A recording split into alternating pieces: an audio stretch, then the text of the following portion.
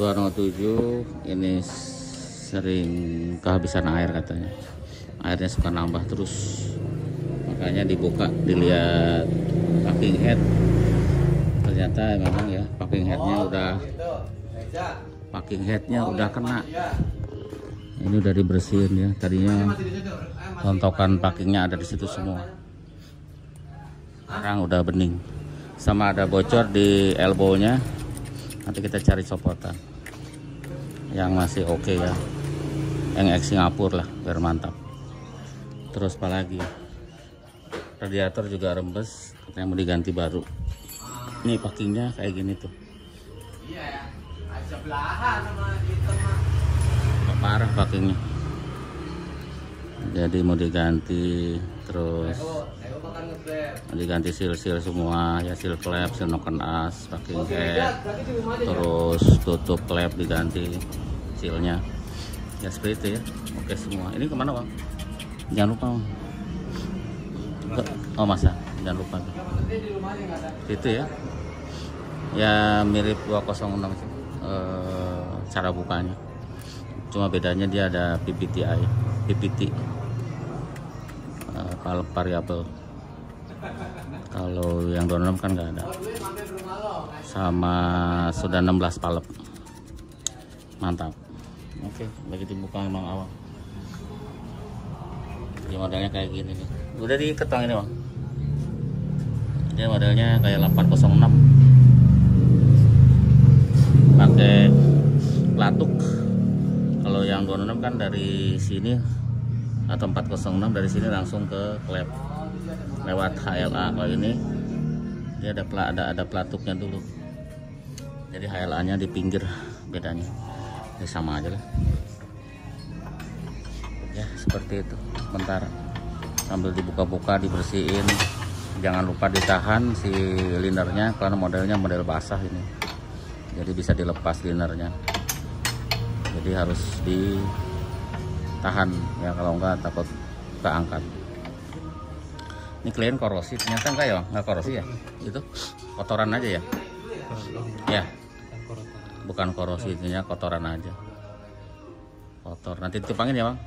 Disikat kawat tuh kan kirain korosi ternyata nggak korosi modelnya kuat ini bloknya. Mantap. Ini housingnya. Coba lihat bang. Housingnya udah dapet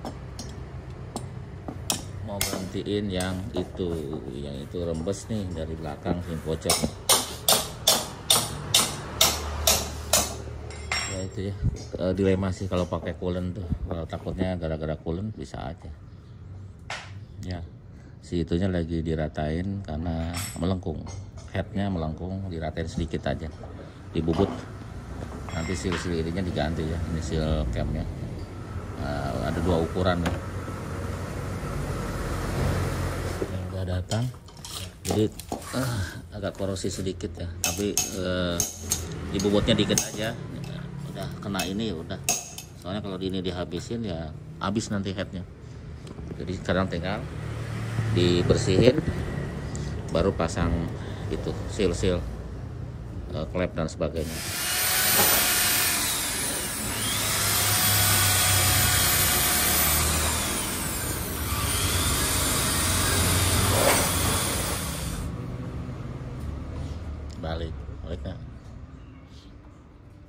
dibalik kan nggak oh gitu ya. Ini pas. Gue bolongannya dua ya?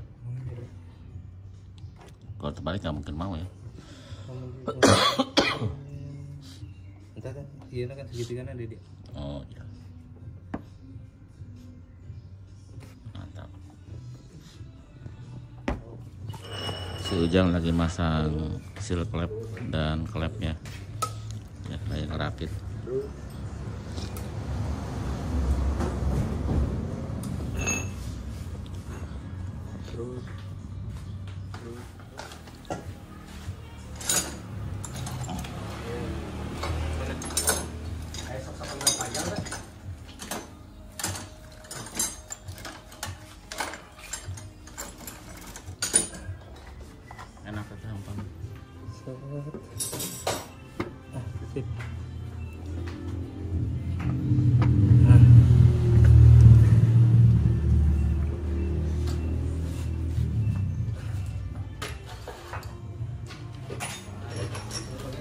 dipasang headnya pasang baut-baut baut basu par- baru setelah itu pasang noken as sama pelatuk-pelatuknya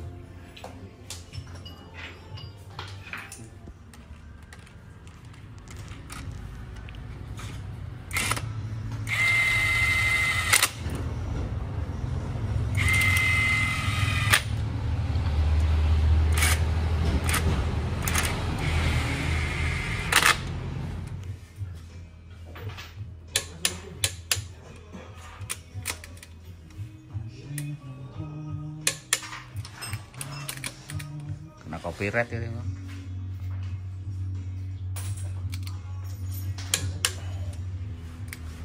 Kan nggak mau, mau pakai suara.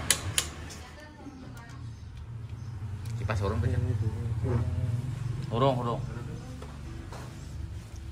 Pasang HLA nih.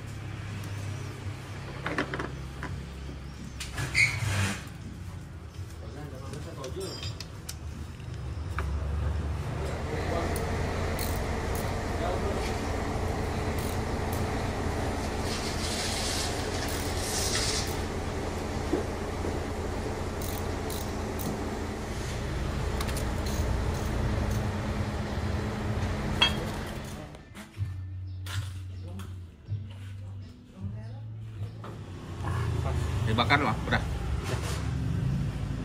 Ntar kalau udah hidup. Nah, coba dulu. Udah diputar, Bang. Udah diputar. Aman, putar. Eh, udah Hah? Dua putaran. dua putaran Radiator ganti.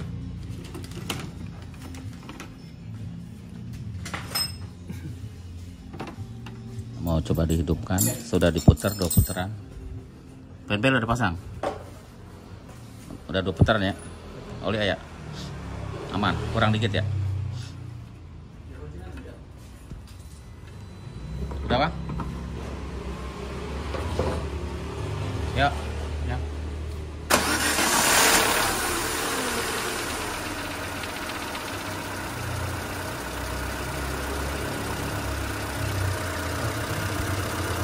Naik olin.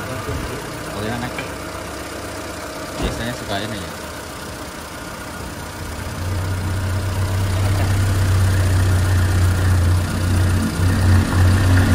Kan tutup, kan tutup, kan. Tutup, kan dong.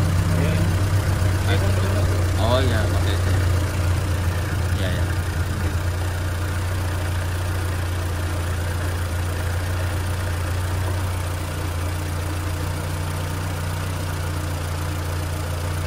Cuma satu ya di situ volt. ayo Oke running dulu deh, pakai air biasa dulu buat kuras. Nanti pakai yang Red. naik tuh yang kelapa kelapa. Coba itunya colok olinya naik dong.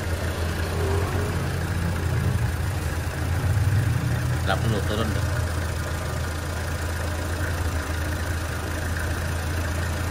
Indikator normal.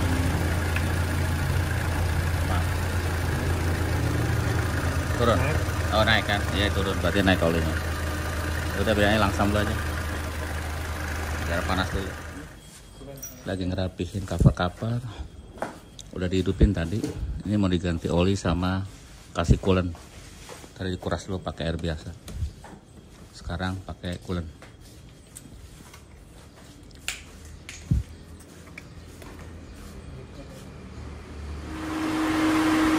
sudah dicoba sudah selesai. Tinggal nambah coolant doang dikit ya.